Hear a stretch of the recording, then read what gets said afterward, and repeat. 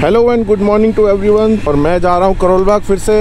जैसे आपने हमारी लास्ट क्लिप्स देखी थी ना टूर की नैनीताल की तो भाई उसमें ना एक छोटी सी प्रॉब्लम मेरे को फेस हुई है। तो मेरे को ये टैंक बैग की नीड थी मैंने ले लिया है। और ये जो फॉग लाइट मैंने एच जी और एक दूसरी कंपनी की लगाई है छोटी छोटी भाई ये तो फेल हो गई वहाँ पर। तो भाई अब यही जो है इसका सोल्यूशन मैं करने जा रहा हूँ। यहाँ पर बड़ी लाइट लगाने वाला हूँ 120 वाट की जो सीधा थ्रो देगी। वैसे तो मैं रात को राइड करना पसंद नहीं करता, लेकिन कभी कभी अगर ज़रूरत पड़ जाए तो भाई पूरा इंतज़ाम होना चाहिए ना। करोल बाग के पंद्रह पंद्रह मिनट बता रहे हैं। इस टैंक बैग का सोल्यूशन भी कराना है। मैं चाह रहा हूँ कि इसके ऊपर ना एक लेमिनेशन सी होती है ना पीपीएफ या टीपीयू या टीपीएच करके जो बढ़िया बढ़िया लेमिनेशन आती है ना, उनमें से कोई मिल जाए तो वो लगवा लूँ, ताकि टैंक जो बच जाए यार।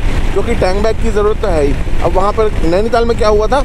गोप्रो की बैटरी चार्ज करने के लिए मैंने चार्जर लगाया अब वो इतना बड़ा चार्जर है ब्लैक कलर का, वो रखूँगा यहाँ पे। तो फिर उसको मैंने पॉकेट में रखा जैकेट की। वैसे तो चल गया था। वैसे तो काम चल सकता है। लेकिन फिर भी मैंने कहा, ये ले लेते हैं यार, इसमें बहुत सामान आ जाता तो चलो, ये दो काम है, आज के ये निपटाते हैं, फिर देखते हैं और क्या क्या काम हो सकता है। तो यहाँ से लगभग एक मिनट बता रहा है। यार, हमने एंट्री तो कर ली है। मेरे को शॉप ढूंढनी है और शॉप मिल गई है। रॉयल बुलेट अबे शॉप ही नहीं खुली है। यहाँ पर पता नहीं दिख रहा है दिख रहा। ये देखो, एक टैंक बैग से ये निशान आ गया। एक यहाँ आ गया, यहाँ आ गया। तो भाई, इसीलिए इसके ऊपर मैं करवाने लगा हूँ। लेमिनेशन या पीपीएफ जो भी होता। है तो दोस्तों, मेरी ये बाइक अंदर आ चुकी है और मुझे दोनों फॉग लाइट्स हटानी पड़ेगी। बड़ी वाली यहाँ लगेगी और यहाँ मोटर लगेगा। और यहाँ सोच रहा हूँ कि एक छोटे वाले लगवा लूँ। और लाइट कौन सी है, ये देखो। ये वाली। ये है 60 वॉट ईच और बोथ 120 वॉट हाँ जी पीपीएफ बताओ जी। सर पीपीएफ आपको रैमेशन आपको टैंक टैंक करवाना अपनी गाड़ी करवाना टैंक टैंक करा सर टैंक टैंक हाँ ये टैंक बैग रखने से ना स्क्रैच आ गया इसके ऊपर। इसकी क्वालिटी दिखा रहे हो। ये पतली है ये थोड़ी मोटी है।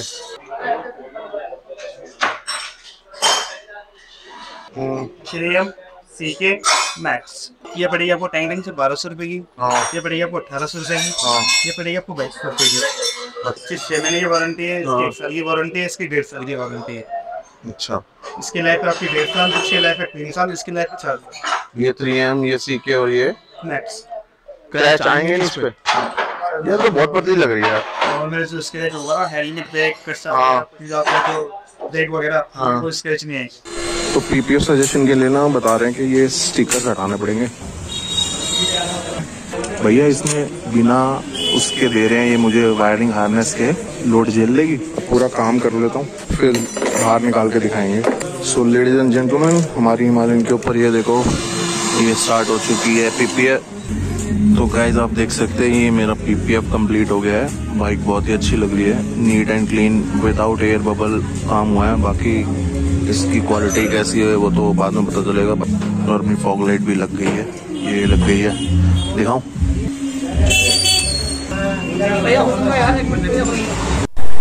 तो भाई, काम हो गया इसका। ये इसकी लाइटिंग आ रही है।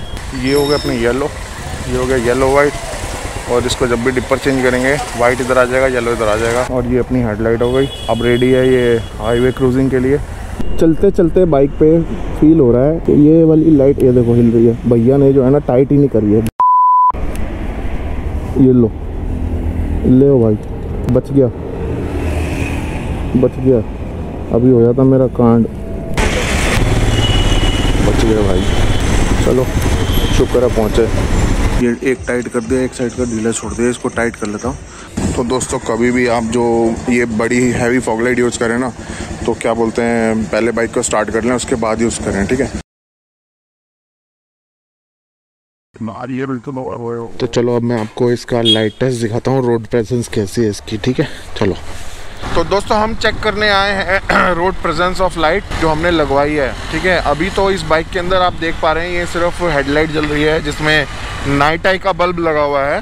ये कुछ इस तरीके से इसमें नाइट आई का बल्ब लगा हुआ है और ये रोड पे इस तरीके से जो है लाइट देगा हमें हाईवे के लिए। उसके बाद में अब ऑन करता हूँ ऊपर की ये वाली दोनों छोटी लाइट्स ठीक है? ये इस तरीके से मुझे सेटिंग करनी पड़ेगी इनकी। ये देखिए येलो और वाइट में जलेगी ये। ये देखो भाई। ये पीछे से कुछ इस तरीके से दिख रही है और ये इसका एंटीना इस तरीके से ब्लिंक करेगा इसका फोकस जो है थोड़ा नीचे होना चाहिए। और इसको इस तरीके से जो है ये लाइट दे रही है आप देख रहे हैं। के लिए बढ़िया। आप ये देखो इस तरीके से जो है बाइक चलेगी तो पूरा ये लाइट आएगा। ये वाइज़र जो हिलता था ना ऐसे ऐसे इसका भी जुगाड़ कर लिया है ये मैंने क्लैम्प लगा के ना एच का ये रबड़ और ये क्लैम्प लगा के ये इसको टाइट कर दिया, अब ये हिलेगा नहीं। जो ये भर भराता था या वाइब्रेट करता था ना, हिलेगा नहीं। ये इग्निशन के साथ है, ये ब्रेक के साथ? अब ना तो फ्रंट में लाइट की कमी है और ना ही बैक में। पीछे से आने वालों को भी लाइट खूब दिखेगी और आगे जाने वालों को भी खूब लाइट दिखेगी तो हमारी तैयारी हो चुकी है ऑलमोस्ट वैष्णो देवी की।